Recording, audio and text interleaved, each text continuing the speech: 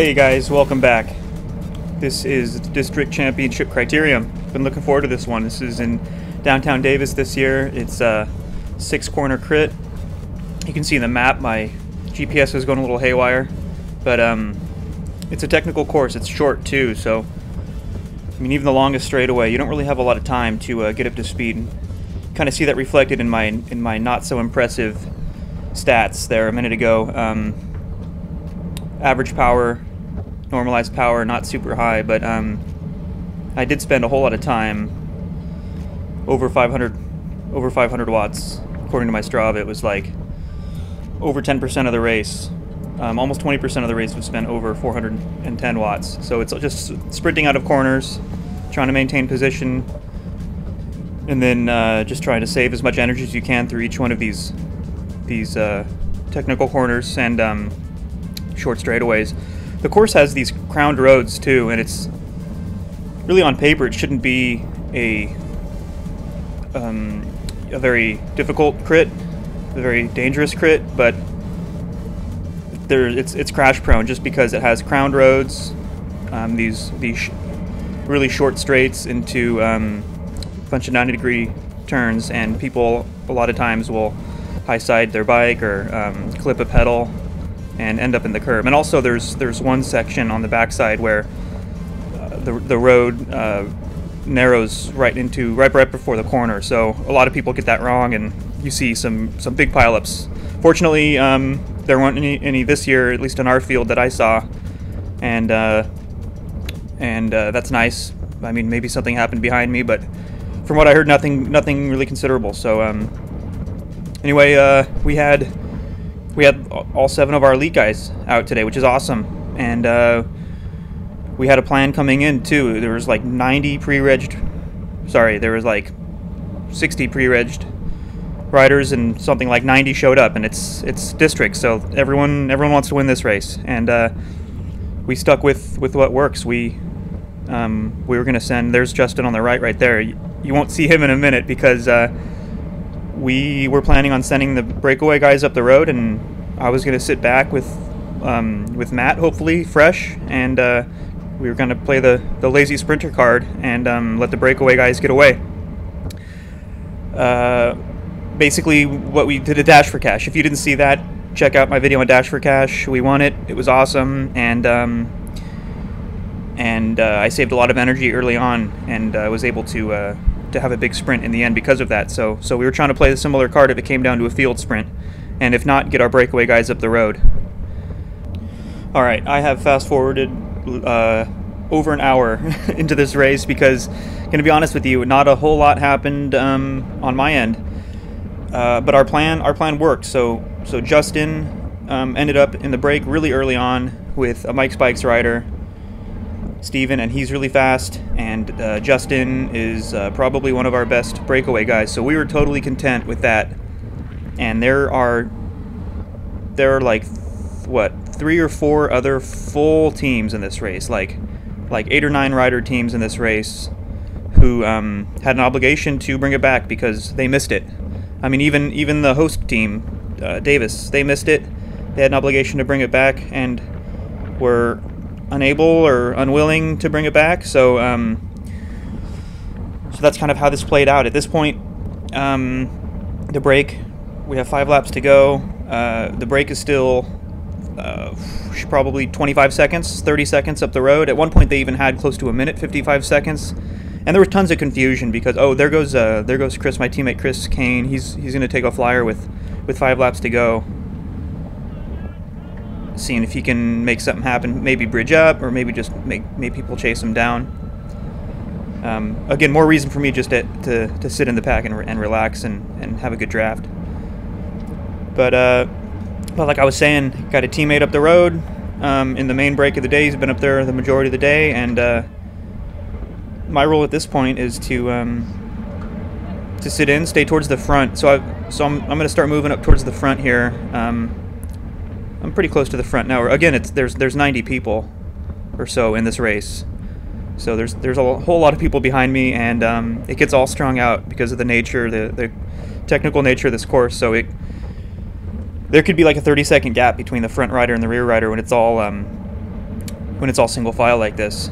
But uh, we're going to stay towards the front in case people decide super late in the race that they're motivated to bring back the the break uh, the break up the road. Oh, and I should mention one other rider did bridge earlier on. Um, from uh, unattached rider bridged up to the break of two, so so it's actually three at this point. point, and that was the one mistake we made in this race as a team. We probably should have uh, have been on that, and that's that's Robert Skinner, again from the the Dash for Cash video. He was the guy that initiated the the bridge when I got across to the breakaway. Um, I stayed on his wheel, knowing he's he's super strong, guys, and he he has no no real problems like soloing across to a breakaway. Super hard effort, and um, I should have known that, and I should have um, been on his wheel, or a teammate should have been on his wheel, gotten a free ride up to the, the break of two. Easier said than done, but that was probably the one mistake we made in the race. Um, if anything, if, if, if nothing else, it would have discouraged Robert from, from bridging across if he had one of us on his wheel, not not willing to do any work. So this is the back section. So the right side here is a, is a pretty pretty good draft, but it's bumpy. And we're only three laps to go here, and uh, you can see what it's like moving up in a uh, District P12 Elite Championship crit. It's it's not easy. You got to stay on it, or else you'll get swarmed. And um, you got to be you got to be pretty aggressive. You got to have sharp elbows to, to maintain position. And if you lose focus, you'll just get swarmed and and uh, go from you know 10th wheel to, to 30th wheel in like one corner. So, looks like uh, Oak Valley Community Bank missed it. They have Josh as their big sprinter. He's on my on my wheel right now, my rear cam, and he is uh, one of the major threats for the field sprint.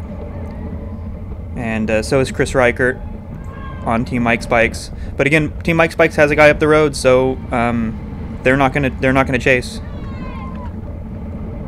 And I'm just making sure that if if we do catch that break of, of three up the road, then um, I am in position for a field sprint. And I'm I'm kind of I'm kind of licking my chops right here. I'm thinking, you know what? I, it might be be brought back because gr- a group of three been out all day. They're tired. Um, they might start playing games with each other, and uh, we're not getting time checks anymore. Um, and we can start to see those that group of three up the road on the long start finish straightaway. So so I'm thinking there's still a chance for me. See, it's getting risky here. Like this is pretty sketchy, and um, and it's just hard. It's just hard to, to maintain position without without bumping shoulders and elbows at this point in the race. But uh, I'm maintaining good position here still, and I'm thinking at the very least I can um, go for the field sprint for fourth. Not what I wanted, but um, got a teammate up the road in Justin, and he's super strong. So, uh, so we're we're still happy with our chances here. Cliff missed it. Amain missed it. Davis missed it. Cycle Sport missed it.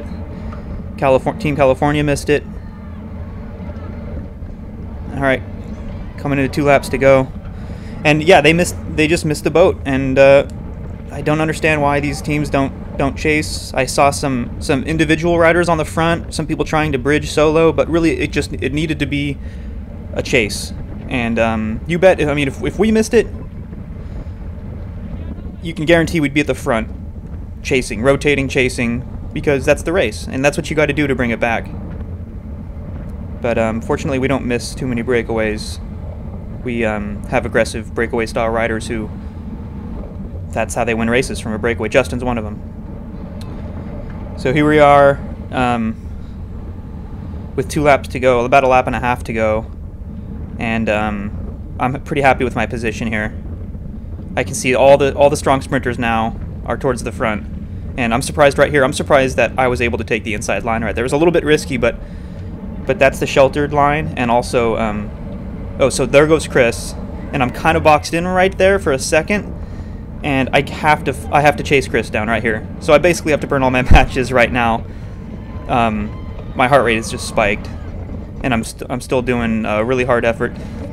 Not even really getting a big gap, but this is this is my race now because if Chris if Chris Reichert uh, on Mike's up there with the gold wheels, if he if he gets across, I have to have representation because that's this is a potentially race winning move it's it's probably not a race winning move, but um, we're in the last lap, and I can't let I can't just sit up and let this get away.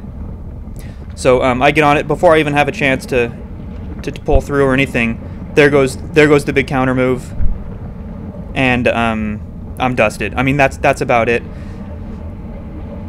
I know that I know that it's up to to, uh, to Justin now up the road, my teammate, and um, I kind of think about trying to jump back on here, but it's just moving too fast, and I burn all my matches bridging up to that move to Chris, and um, that's it. I pull the plug. So sorry guys, not super exciting for me this race, but like I said, somebody from our team had to cover that move from Chris Reichert, and I was in the perfect position to do that. It was it was something we had to do. I could have sat back, rolled the dice, and field sprinted for, for fourth, but it just wasn't wasn't worth it. And fortunately, up the road, Justin took second, so that's an awesome result. Big time race like this, and uh, awesome to be uh, represented in the breakaway all day. So, so good work, Justin. Um, but I do have big races coming up, so uh, so I'm gonna have a lot more content on the channel. Have a couple of races this weekend, race the following weekend, and then a 10-day stage race. So, so uh, check out the channel, uh, hit subscribe, and uh, thanks for, for tuning into another race, guys. See you soon.